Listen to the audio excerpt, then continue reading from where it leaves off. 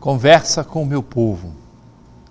Caríssimo irmão, caríssima irmã, nós estamos juntos para viver a vida da igreja.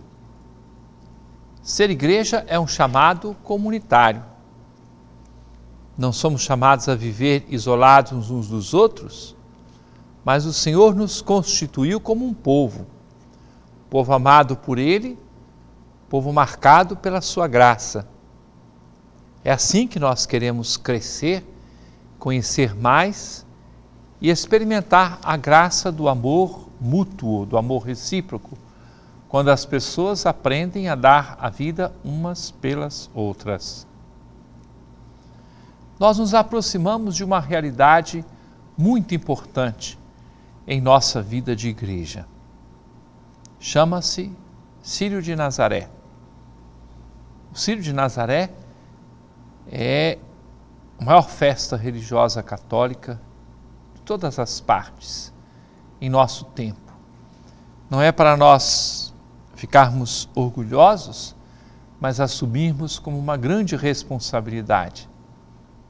Não se trata apenas de ter uma presença muito grande do povo, não se trata de nós acolhermos paraenses e outras pessoas que residem em lugares diferentes que acorrem a Belém para o Sírio. Não. Quando alguém me pergunta se o Sírio é uma grande festa turística, sempre respondo que o turismo ele vem em segundo lugar. No coração do povo paraense, o Sírio é, em primeiro lugar e fundamentalmente, uma experiência religiosa todos os contatos com a Virgem Maria, Mãe de Deus, sempre nos apontam e nos levam a conhecer Jesus, a estarmos junto dele, a participarmos de sua vida, a conhecermos mais o Evangelho. Daí a tarefa que nos cabe, a todos nós que vivemos juntos o Sírio, de experimentar a sua preparação e viver com intensidade essa dimensão religiosa de uma grande romaria e de peregrinações que nós realizamos durante este período que antecede ao Sírio e após o núcleo do Sírio, no segundo domingo de outubro, continuarmos a aprofundar a nossa realidade de fé.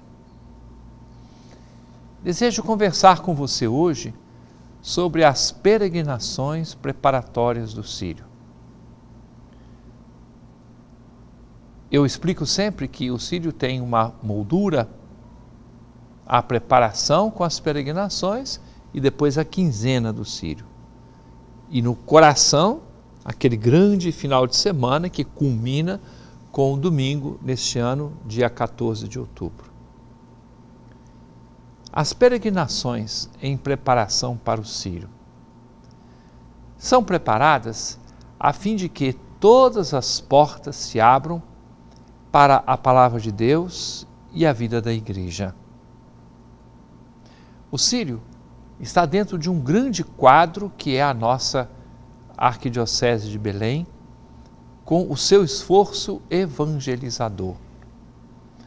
No ano de 2016, a cidade de Belém completará 400 anos. Acontecerá em Belém, de 15 a 21 de agosto de 2016, o 17º Congresso Eucarístico Nacional.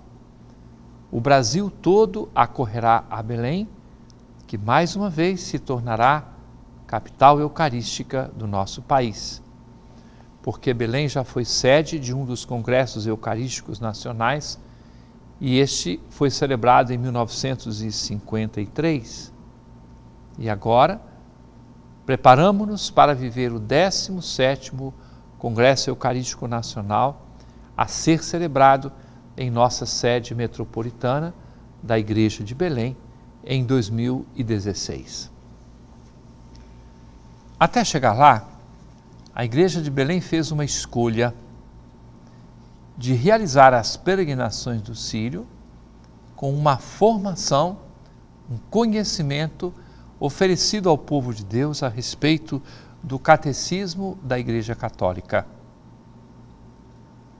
Neste ano, providencialmente, nós celebraremos o vigésimo ano da publicação do Catecismo da Igreja Católica no dia 11 de outubro. É uma quinta-feira. Nós temos a apresentação do manto de Nossa Senhora de Nazaré, temos a abertura do Ano da Fé e a comemoração dos 50 anos do Concílio Vaticano II e 20 anos do Catecismo da Igreja Católica. Tudo isso para nós vivido dentro de um clima de Sírio, portanto, acompanhados por Nossa Senhora. Parece que Maria tem uma preferência carinhosa por nós. Quando o Papa Bento XVI pediu ao proclamar o ano da fé que o catecismo da igreja seja mais conhecido, nós já estamos nesse processo. Até 2016, através das peregrinações do Sírio, todas as partes mais importantes do catecismo da Igreja Católica terão entrado nas casas, nos corações, na vida do nosso povo. Como ninguém resiste ao Sírio, o Sírio, ele vai como aquela luz e a imagem de Nossa Senhora de Nazaré, este grande ícone espalhado por todas as partes da nossa igreja de Belém, abre portas dos corações e aí as pessoas acolhem o Sírio. Até o título da carta apostólica de Bento XVI, chamado Porta Fidem, a porta da fé, vem providencialmente ao encontro daquilo que nós experimentamos. As portas das casas, dos corações, as portas das repartições públicas, das escolas, de todas as entidades públicas, todas as portas se abrem e, repito, ninguém resiste ao Sírio. Peregrinação do Sírio. Nós temos um texto que nos remete continuamente à palavra de Deus. Durante as peregrinações que já começaram, a palavra de Deus é oferecida abundantemente. São 15 encontros que se realizam nas famílias com um gesto muito simpático. A família recebe a imagem de Nossa Senhora de Nazaré e ela permanece ali até o encontro seguinte. Depois, aquela família leva a imagem a outra casa. Em cada encontro, nós temos uma oração de acolhida da parte da família. A outra família que entrega diz uma palavra, nós refletimos a respeito da palavra de Deus, nós rezamos juntos, nós crescemos no conhecimento da vida da igreja, aprofundamos o catecismo da Igreja Católica, para que assim nós testemunhemos melhor a nossa fé católica. Esta é uma experiência preciosa que nós fazemos durante este período de peregrinação em preparação ao Sírio de Nazaré. Eu constatei e outra vez percebo esta frase que já tem se tornado um verdadeiro refrão nas minhas palavras a respeito do Sírio. Ninguém resiste ao Sírio. Como eu tenho o privilégio de entrar em sua casa, em sua loja, em sua escola, em tantos lugares através da TV Nazaré, é uma oportunidade privilegiada que tenho hoje de lhe fazer um convite, se porventura, por qualquer motivo, o seu coração e a sua porta ainda não se abriram para o Sírio de Nazaré, para as peregrinações, Eu quero que você se agregue, que você se ajunte a tantas pessoas que fazem essa experiência de abertura para a vida da igreja.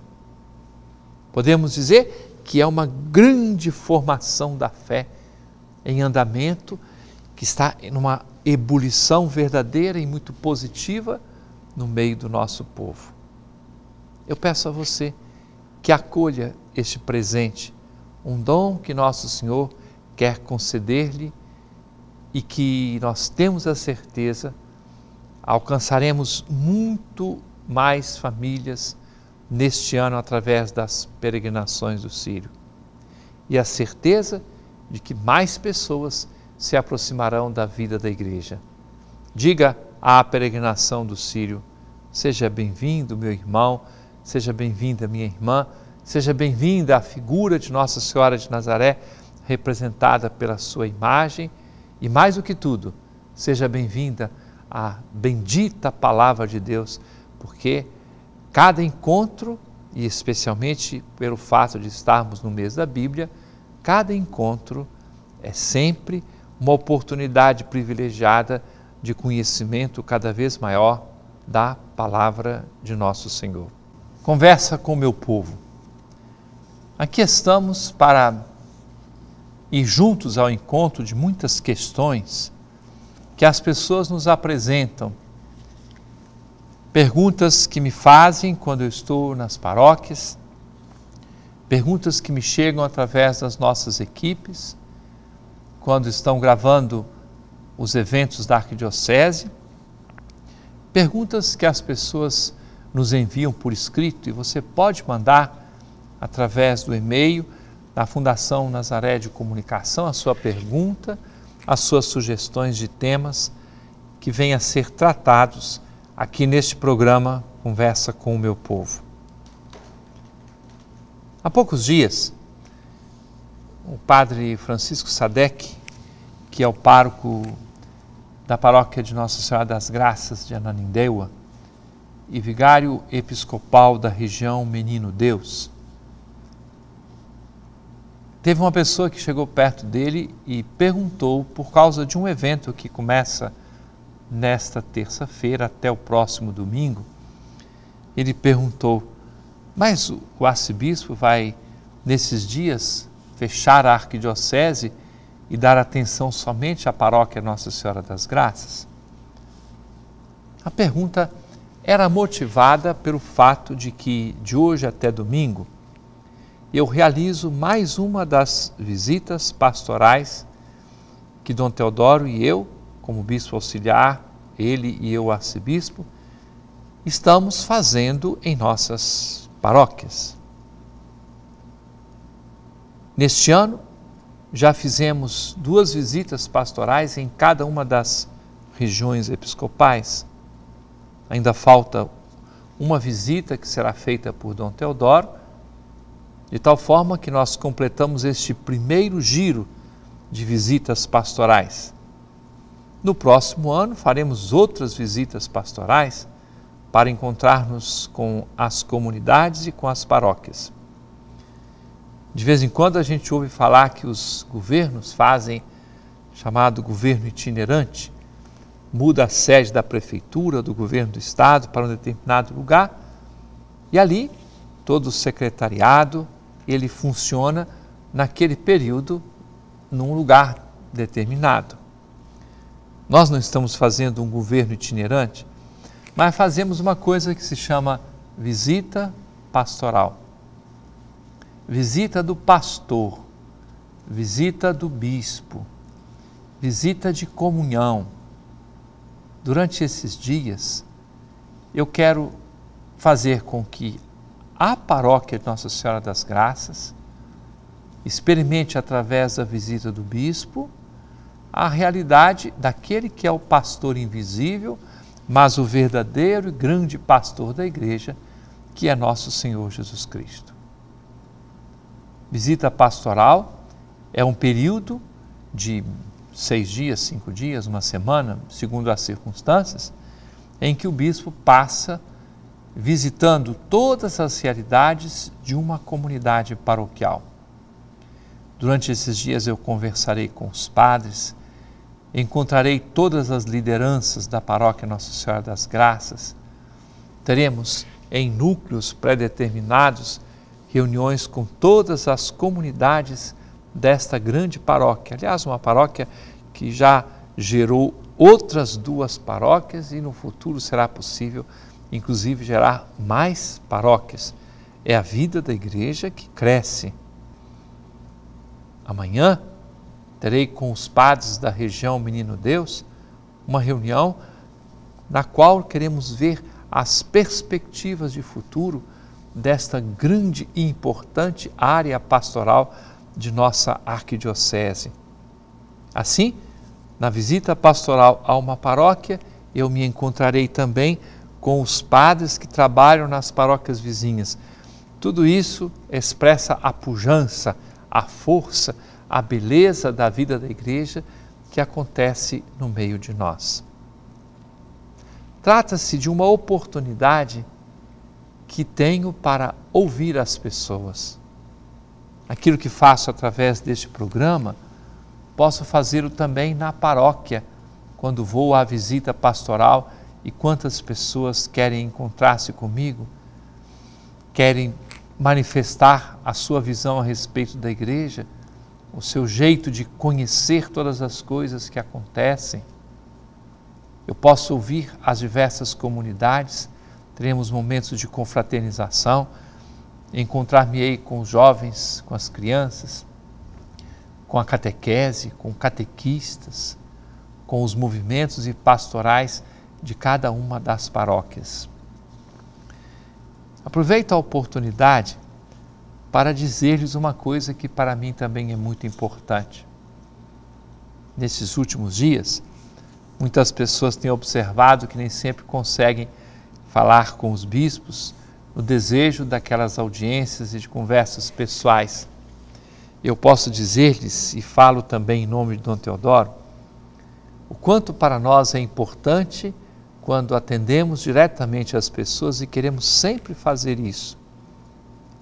Durante esse período, especialmente esse tempo que antecede ao Sírio, e também com essas outras atividades, como visita pastoral e tantas outras atividades, eu Devo dizer-lhes que se torna às vezes difícil, não por má vontade da parte dos bispos, mas, graças a Deus, pelo fato da agenda estar repleta de encontros, de atividades, de diálogos, de visitas pastorais, de celebrações do sacramento da Crisma. São coisas magníficas que nós temos a oportunidade de realizar, não os bispos sozinhos, mas junto com os padres, com os religiosos, as religiosas e com todo o povo de Deus. Por falar em pujança de vida de igreja, no último, na última semana, final de semana, os bispos de todo o Regional Norte 2 se encontraram aqui em Belém. Houve também uma reunião do Conselho de Pastoral do Regional Norte 2.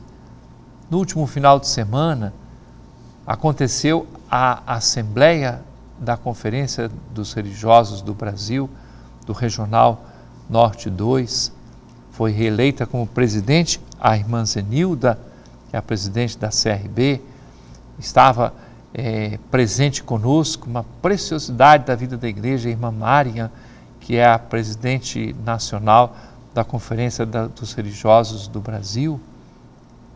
Dessa forma, você pode sentir todas as coisas que acontecem, os religiosos e as religiosas que nos trazem as notícias da vida de igreja e que voltam para os lugares onde trabalham. E uma religiosa dizia no domingo, quando fui celebrar a missa de encerramento da Conferência dos Religiosos do Brasil em sua reunião ordinária eletiva, uma religiosa dizia: Eu volto para casa depois de uma assembleia como esta reforçada no meu desejo de servir, no meu impulso missionário. É assim que a igreja caminha. É muito bom nós termos esse gosto pela vida da igreja. E que dizer dos catequistas? Há pouco tempo, no final do mês de agosto, tivemos o congresso Arquidiocesano de Catequese, segundo Congresso Arquidiocesano de Catequese. E agora, neste final de semana, vai acontecer em Castanhal, no Cenóbio da Transfiguração, o encontro que é o Congresso Catequético do Regional Norte 2. Catequistas de todas as nossas dioceses ali estarão refletindo, compartilhando experiências sobre um tema muito importante: Igreja, Casa da Iniciação Cristã. Se algumas pessoas podem olhar para a prática religiosa e pensar que esta se encontra em extinção, a nossa visão é totalmente diferente. Nós percebemos uma igreja que vai chegar cada vez mais perto das pessoas e aproximando-se das pessoas, criando novas comunidades, envolvendo nas paróquias que são organizadas nas diversas dioceses, nos movimentos eclesiais, nas grandes pastorais, a vida da igreja se manifesta. Não posso deixar de expressar também a grande expectativa que vivemos neste período. O próximo mês de outubro haverá a peregrinação da Cruz da Jornada Mundial da Juventude pelo nosso Regional Norte 2, estados do Amapá e do Pará.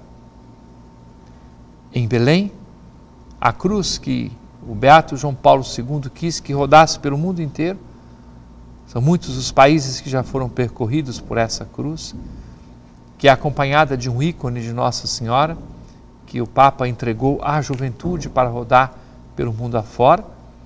Nos dias 18, 19 e 20, esta cruz e o ícone de Nossa Senhora estarão aqui em Belém.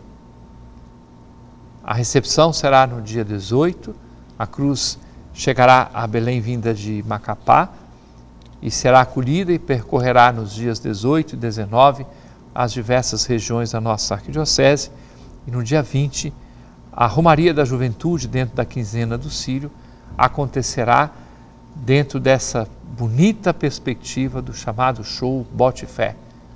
Dia 20, de meio-dia para tarde, Belém, os outros municípios da nossa arquidiocese e certamente muita gente de fora Todos estaremos juntos, apoiando os nossos jovens, acompanhando-os, indo com eles a essa Romaria da Juventude. Podem vir, jovens de todas as idades.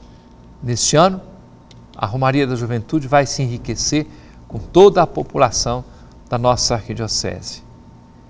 Dessa forma, querido irmão, querida irmã, você entende o quanto eu quis começar a série de programas dessa semana expressando essa beleza, este ânimo da nossa vida de igreja, da qual você também participa.